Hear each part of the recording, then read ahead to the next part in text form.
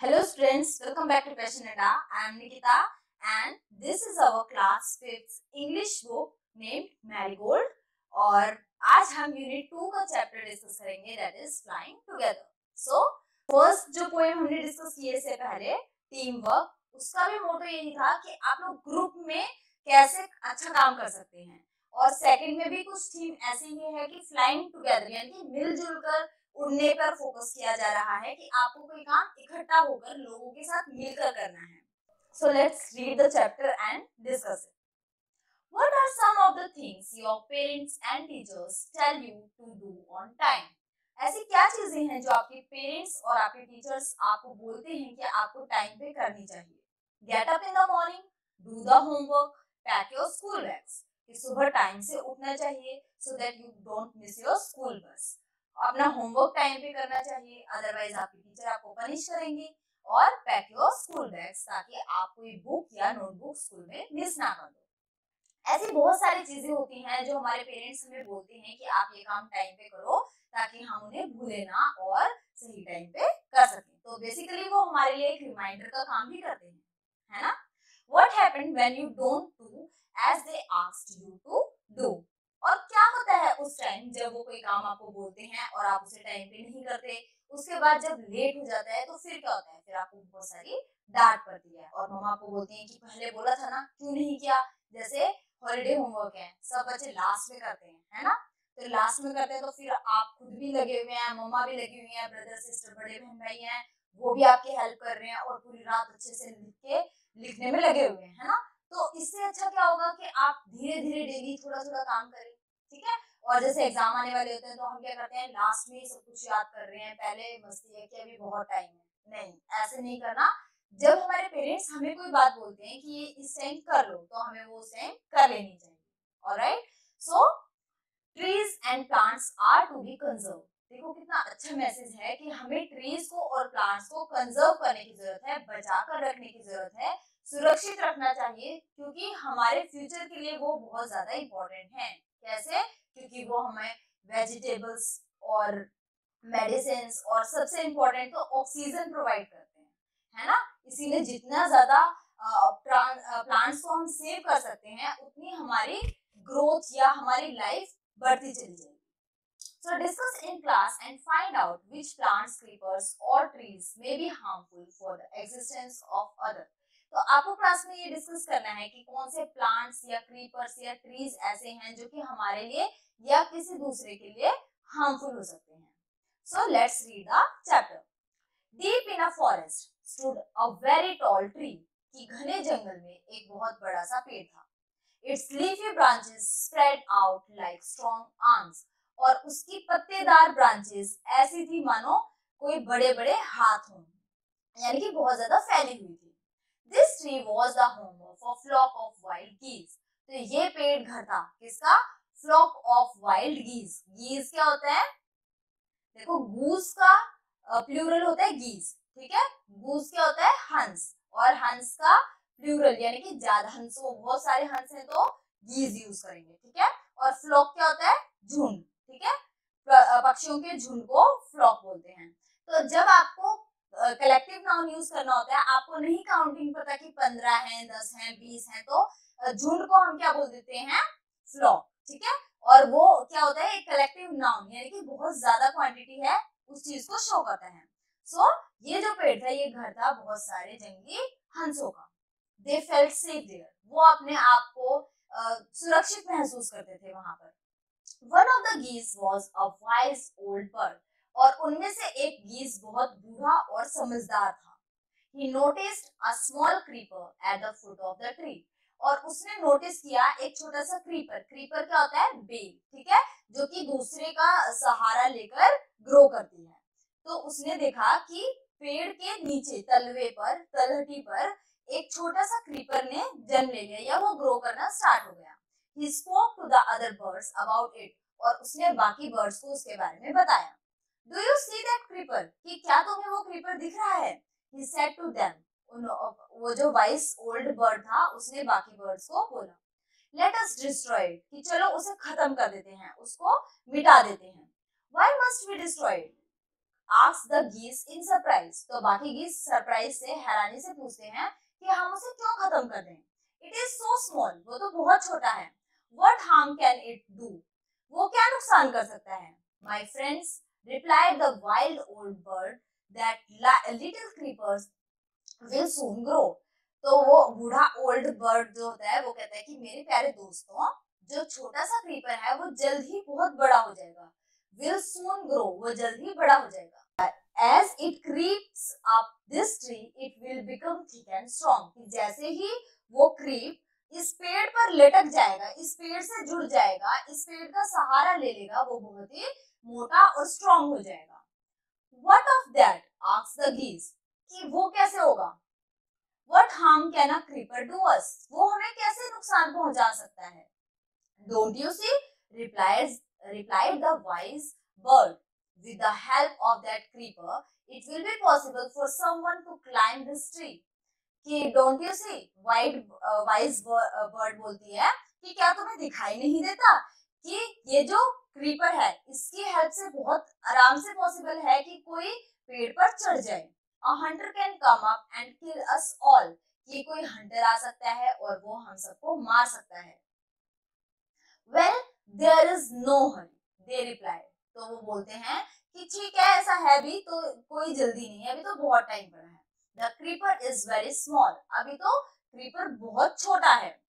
It would be a pity to destroy it now बहुत ही दुख की बात होगी। कितना बेचारा छोटा सा तो है, वो हमें क्या नुकसान पहुंचाएगा? अभी उसको नुकसान पहुंचाना या अभी उसे खत्म कर देना बहुत गलत होगा। Destroy the creeper while it is still young the old bird advised तो जो बूढ़ा बर्ड होता है, वो एडवाइस करता है कि डिस्ट्रॉय कर दो उसे अभी, क्योंकि अभी वो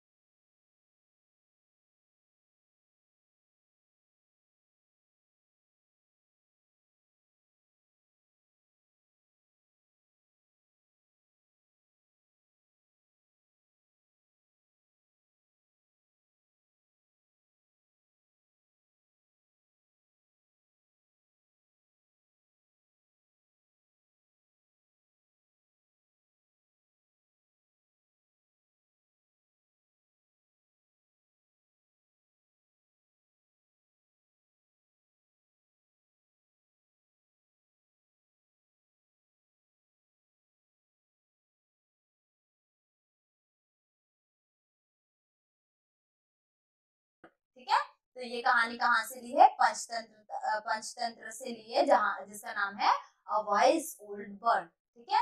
इसकी स्टोरी और ये किसने लिखी है? शिव कुमार ठीक है? तो काफ़ी अच्छी स्टोरी थी न्यू वर्ड्स देख लेते हैं एक बार।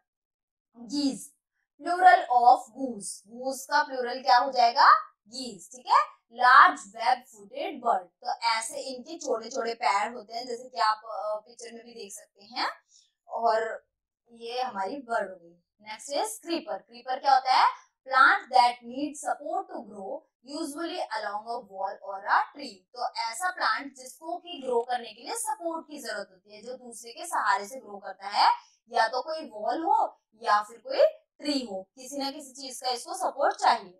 वाइंडिंग गो इन सर्कुलर जो ऐसे ऐसे राउंड राउंड सर्कुलर मोशन में, ये स्पाइरल कोर्स में ग्रो करता है।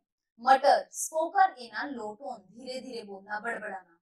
Flap move wings up and down अपने पंखों को ऊपर नीचे करना ताकि वो उड़ सके ठीक है? So this these are our new words इसी के साथ हमारी जो चैप्टर की मीनिंग uh, था वो भी एक्सप्लेनेशन भी कंप्लीट हो गई। नेक्स्ट क्लास में हम इसकी बैक एक्सरसाइज करेंगे। तो हमें चैप्टर से सीखने को क्या मिला? हमें सीखने को ये मिला कि जो हमारे बड़े बुज़ुर्ग हैं हमसे बड़े हैं उनको एक्सपीरियंस होता है, वो अपने एक्सपीरियंस से हमें कोई बात बताते हैं तो हमें ये नहीं सोचना चाहिए कि उन्हें कुछ नहीं पता या हमें ही पता है सब कुछ वो जो बोलते हैं, हमारी भलाई के लिए बोलते हैं, ठीक है तो हमें उनकी बात माननी चाहिए और एक्शन लेने चाहिए अकॉर्डिंगली ठीक है so this is all our chapter that's all for today. Thank you and have a nice day.